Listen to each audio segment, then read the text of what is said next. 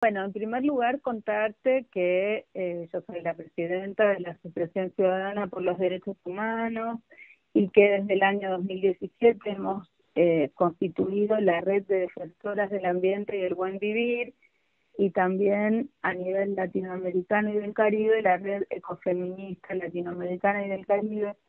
Y en una alianza estratégica con la red de abogacía comunitaria estamos tratando de fortalecer los nodos de la red eh, de defensoras del ambiente y el buen vivir. Allí en, en Salta, eh, básicamente vamos a estar haciendo una escuela ecofeminista eh, que va a tener lugar los días 22 y 29 de julio.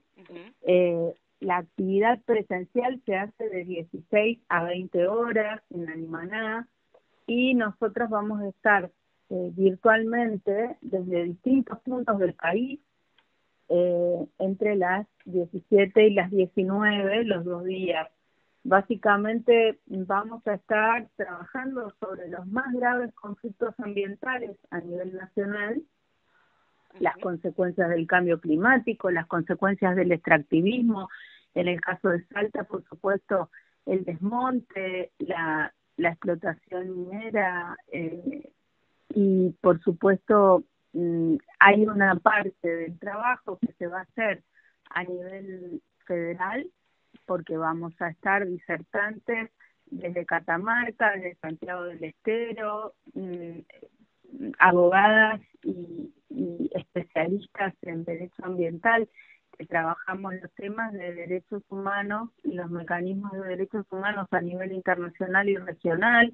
Vamos a estar repasando la Convención de Cambio Climático, la Convención de Biodiversidad, el Acuerdo de Escazú. Vamos a repasar un poco y contar y compartir los principios y las leyes ambientales, cómo los viene aplicando la jurisprudencia en cada provincia. Vamos a trabajar de, de alguna manera los intereses comunitarios en cada una de las provincias. Vamos a estar en simultáneo eh, trabajando presencialmente en Santiago del Estero, Catamarca y Salta, pero después va a haber gente conectada de todo el país, incluso de América Latina, y vamos a ver en profundidad eh, un, el caso de la minera La Lumbrera, eh, cómo se construyó ese estratégico y cómo llegó a la Corte Interamericana de Derechos Humanos. También vamos a estar hablando de los derechos de los pueblos indígenas, eh, en particular los que frecuentemente están violados y, y cómo se tiene esta interfase con los temas ambientales, ¿no? Así que bueno, un poco eh, en apretada síntesis, esos son algunos de los temas que vamos a estar viendo. ¿Por qué una mirada ecofeminista? ¿Qué, qué, qué implica una mirada ecofeminista? Bueno, una mirada ecofeminista implica un cuestionamiento a un modelo de desarrollo que nosotros consideramos que es un modelo de mal desarrollo, donde eh, la naturaleza, las mujeres, eh, somos explotados en, generando situaciones de desigualdad. Entonces, una visión ecofeminista implica, por un lado, recuperar la armonía con la naturaleza y promover modelos de desarrollo sostenibles que tengan que ver con los intereses de las comunidades que habitan los territorios y un modelo que promueva la justicia no solo ambiental, sino también la justicia social y la justicia de género. Eh, en la distribución de los recursos, en la toma de decisiones eh, sobre las políticas públicas al respecto. En ese sentido, queremos que más mujeres eh, puedan estar protagonizando estos estos temas, ¿no? Básicamente las mujeres de los pueblos originarios, las mujeres campesinas, las periodistas, las abogadas, defensoras de derechos. Eh, en ese sentido estamos tratando de fortalecer nuestra red de defensoras del ambiente y del buen vivir. ¿Por qué tomar la lumbrera? ¿Ustedes que ven algún retroceso en lo que se viene planteando en minería y que puede terminar? ¿O por, por qué abordar justamente la lumbrera, la lumbrera que ha sido tan renombrado y que se ha peleado tanto. Eh, a ver, nosotros creemos que estamos en un, en un punto gravísimo de inflexión, sobre todo en varias provincias. En la provincia de Salta, eh, el, el desmonte se está llevando adelante de manera exacerbada, no cumpliendo con los propios fallos de la Corte, no cumpliendo con la ley de bosques, eh, se está impulsando en muchos ámbitos y el, la aprobación del RI por parte impulsado por el gobierno nacional va en el sentido de violar todas las leyes ambientales con tal de eh, dar lugar a, a proyectos que van a generar más desigualdad, más pobreza y un impacto ambiental gravísimo.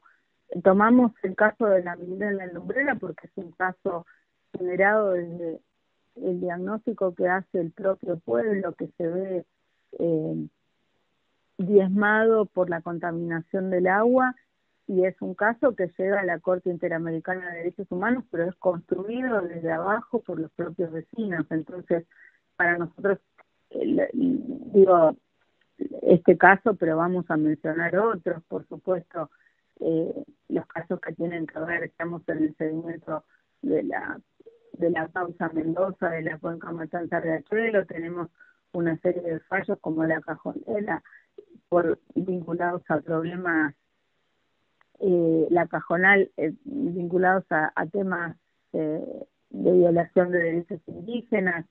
Eh, dije la lumbrera porque es un caso paradigmático digamos de construcción de una estrategia colectiva desde el pueblo desde el territorio que llega, va pasando todas las instancias hasta llegar a, un ámbito internacional.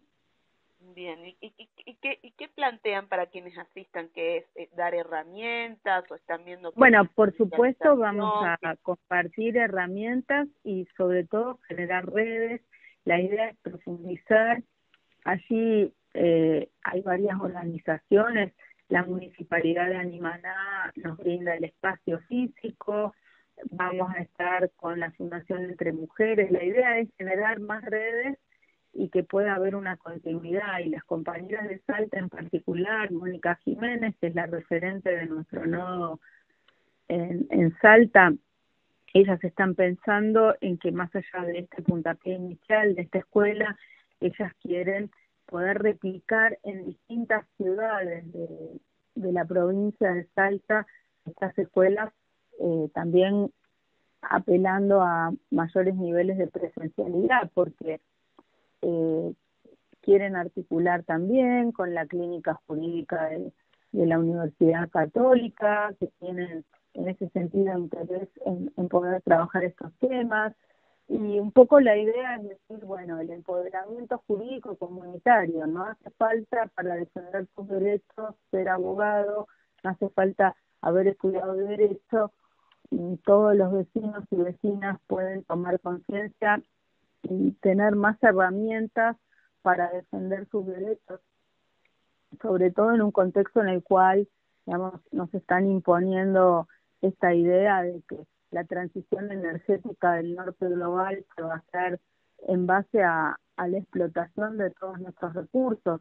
Eh, el caso del litio, que ahora todos lo ven como la panacea, es un caso bien paradigmático de que puede llegar a, arrasar eh, recursos y, y bienes comunes y poblaciones originarias y bueno, es bueno que estén conscientes de cuáles son sus derechos y puedan defenderse.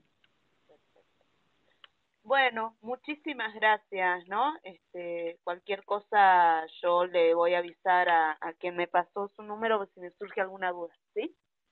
Muchísimas gracias a vos y pedile en todo caso que te pase el flyer que tiene la dirección exacta de, Ah, perfecto, perfecto, perfecto.